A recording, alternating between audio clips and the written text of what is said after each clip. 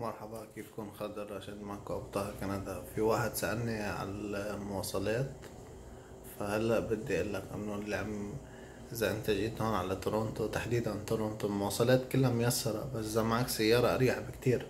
يعني مثل أنا هلأ هلأ أنا هون بمركز كرمال بدهم يعملوا لي فحوصات. إذا مبين مزبوط بالسيارة بدها نص ساعة. أخدت معي لو وصلت لهون ساعتين وربع تقريبا. غيرت طلعت ثلاث باصات. كأنه سفر يعني. بالسيارة نص ساعة.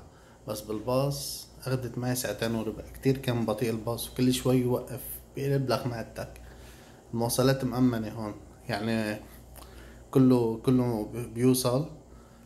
بس في فرق يوم ما توصل على السريع فرق يوم ما توصل تطلع روحك لتوصل على المكان اللي بدك إياه. ف فنصيحة إذا جيت وقادر تشتري السيارة ما تأثر. بس السيارة هون تأمينها غالي عشان هيك العالم ما كل ما كل العالم تقدر تشتري سيارة. آه، وإذا جبت سيارة بدك تعمل حسابك من المي... من الميتين دولار لأربعمية دولار تأمين. كل شهر هدول بدك تدفعهم حسب أنت والتأمين اللي بتختاره. لا لو التأمين رخيص بتلاقي كل العالم مع سيارات بس ما ما حدا بيقدر يشتري سيارة والله هلأ بس هيك.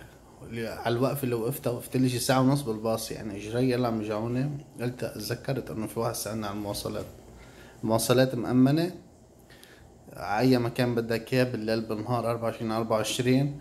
بس بطيئة كبسات بس إذا معك سيارة أنت بكون مرتاح كتير. فإذا إذا الله يسر لك وقدرت تجيب سيارة كتير كتير بترتاح. بالباص أنا بالنسبة لإلي بعلق بس ما في ما طالع بإيدي جيب سيارة مصروف غالي. شو بدك تلحق ولا تلحق؟ يعطيكم العافية. السلام عليكم.